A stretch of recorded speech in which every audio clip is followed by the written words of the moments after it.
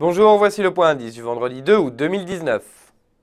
Après avoir baissé suite au discours de Jérôme Powell mercredi, les marchés sont repartis en hausse en Europe et la clôture US pourrait de nouveau soutenir un rebond dans la journée.